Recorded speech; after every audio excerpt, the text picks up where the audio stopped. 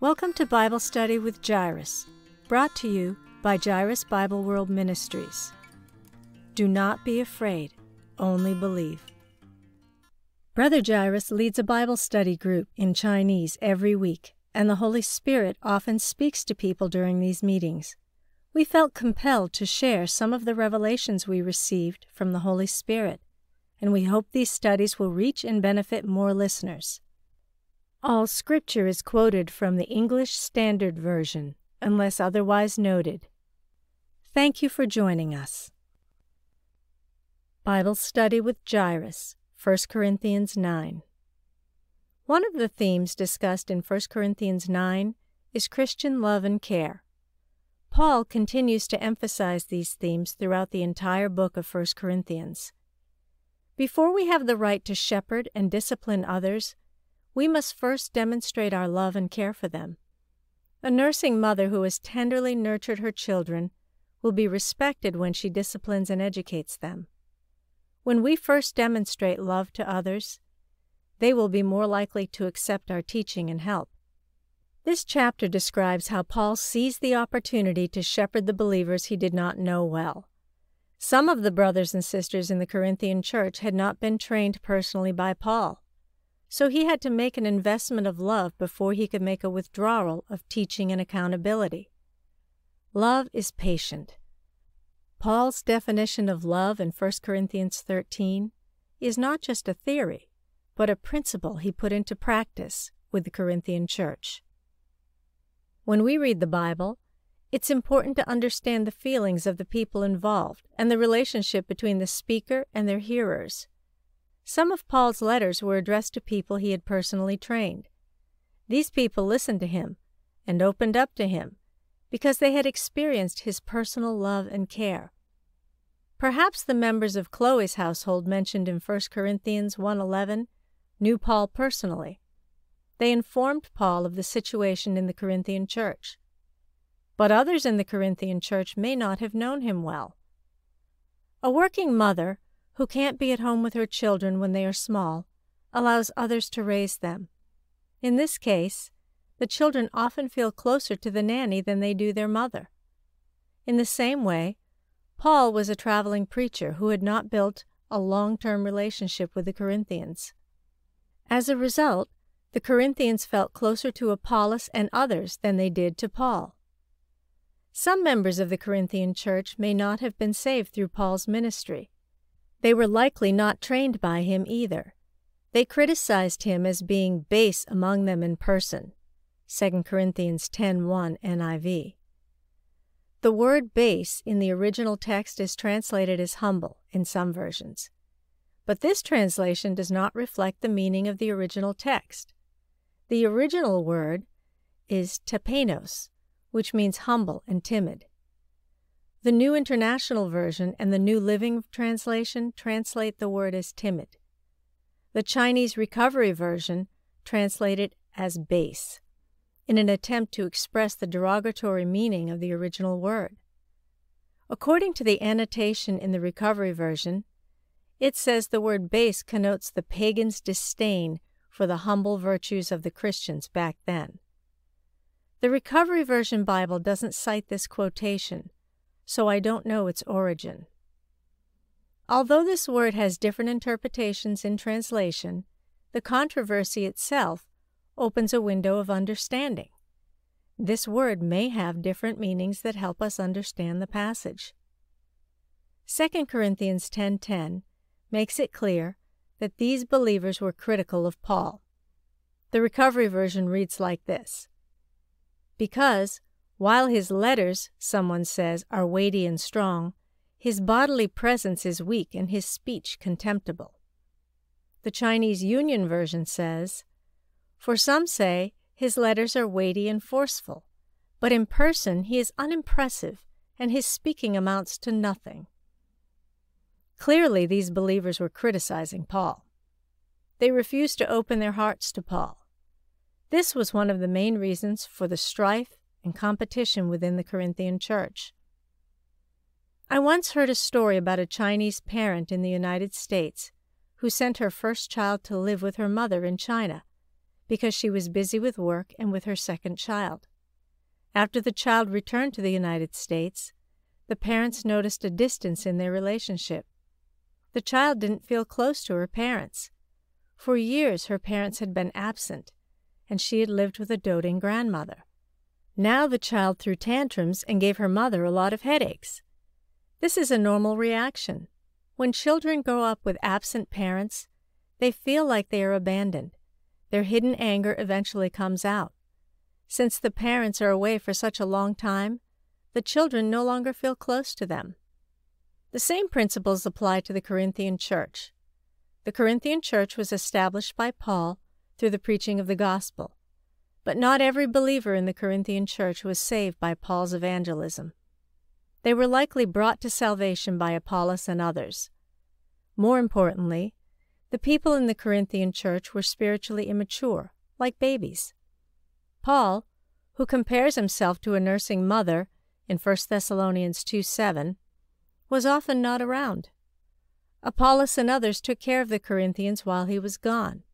They were like foster mothers who nursed and nurtured the young church. The church began to feel distant from Paul and to feel close to Apollos and the others. Let's return to our example of the child who was sent to China. It was understandable that she felt angry after returning to the United States. She didn't understand why her parents had left her. So, what should her parents do? They should spend even more time caring for her. They should work towards developing a close relationship with her, built slowly over time. Perhaps when the Corinthians criticized Paul, they were expressing their anger about his absence in their life. Paul loved the Corinthian believers even though they criticized him. Since he wasn't around much, he must have regretted the fact that he wasn't able to be with them constantly to take care of them. When he heard their complaints, he didn't respond in anger. Instead, he encouraged them and showed his love for them.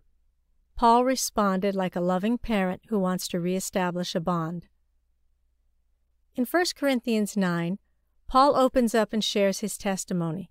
He tells the Corinthians how he was called by the Lord to be an apostle, verses 1 through 3, how he gave up his right as an apostle, verses 4 through 15, how God entrusted him with a stewardship, verses 16 through 23, and how diligently he is running the Christian race, verses 24 through 27. In other words, Paul is demonstrating the great sacrifices he has made for God's calling including sacrifices he's made for the believers in Corinth. Paul wants them to know that the reason he is running around like this is because of God's calling on his life. But it doesn't mean he doesn't miss the Corinthians or care about them. For example, Paul gave up his right to be financially reimbursed for his gospel ministry so he wouldn't be a burden to the Corinthians. Verses 11 through 15. This was one of the sacrifices he made for them. Perhaps the Corinthians felt that Paul was doing nothing to shepherd them, but in reality, he made frequent sacrifices for their sake. The Corinthians needed to recognize the sacrifices Paul was already making. Paul spoke openly about his sacrifices so that the believers could see the depth of his genuine care and love. Those who doubted his care could see the sacrifices he had made on their behalf. I believe these words may have eventually touched the hearts of some of the believers who were against Paul. There was a lot of competition and immaturity in the Corinthian church. Because the church lacked spiritual authority, and Paul and Apollos were not permanent pastors, everyone in Corinth was competing. Any church that lacks spiritual authority will experience the same conflicts. A church with spiritual authority guides its members toward good behavior and submission. But in a church without authority, no one submits to anyone. The only solution to this competitive rivalry is love, spiritual growth, and maturity. Paul opened up about his experiences for two reasons. Not only did he want to demonstrate his love for the Corinthian church, but he also wanted to teach them how to achieve spiritual maturity. Paul's spiritual maturity came not only through his election to apostleship, but also through his willingness to grow spiritually through suffering. When we learn to obey God in the midst of suffering, God will work in our lives to bring about spiritual maturity. Even the Lord Jesus himself learned obedience through what he suffered. Hebrews 5 8. Paul said that he had the right to eat and drink and to marry, but he gave up these rights for the Corinthians' sake. 1 Corinthians 9 4 through 5. The Corinthians continued to live in gluttony. 1 Corinthians 11 21 through 22, and sexual immorality. 1 Corinthians 7 2. But Paul let go of these fleshly needs for the sake of the gospel. Paul said, But I discipline my body and keep it under control, lest after preaching to others, I myself should be disqualified. 1 Corinthians 9:27. True authority comes from God's calling and our surrender to God. That's why Paul said he had no choice but to preach the gospel. Because of God's calling, he felt obligated to preach. 1 Corinthians 9:16, the Berean Study Bible. All who are called by God go through the process of struggle and surrender. Paul was no exception. While we don't know exactly how Paul struggled, we can see glimpses of the struggle in 1 Corinthians 9. Paul said, For if I preach the gospel, that gives me no ground for boasting. For necessity is laid upon me. Woe to me if I do not preach the gospel. For if I do this of my own will, I have a reward. But if not of my own will, I'm still entrusted with a stewardship. 1 Corinthians 9 16 through 17. To some, this verse is confusing. Is Paul still struggling with God's calling? Perhaps he is. He used to be an active persecutor of Christians among the Judaists a religious leader with very high status. Accepting God's calling was equivalent to betraying his social class. He would also face great persecution. That's why Paul may have wavered and struggled with God's call on his life. But in the end, Paul surrendered to the Lord.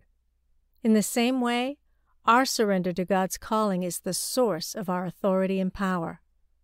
Paul exhorts the Corinthian believers to surrender more completely to the Lord and to submit to one another. As we do this, we as believers will unlock the authority and the power of the Lord. If this article blessed you, please consider supporting us. We have a lot of materials that need to be translated and recorded.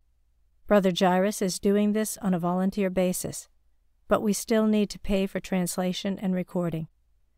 Jairus Bible World Ministries is a 501c3 nonprofit organization, and we can provide tax exempt receipts for your records. You can visit our website, www.jairusbibleworld.com, to donate online or send a check to P.O. Box 1643, Ellicott City, Maryland 21041. Please make checks payable to Jairus Bible World Incorporated. You can also donate via PayPal. Our PayPal email address is info at jairusbibleworld.com. We greatly appreciate your support. Music Acoustic Guitar 1 by Audionautix is licensed under a Creative Commons Attribution License.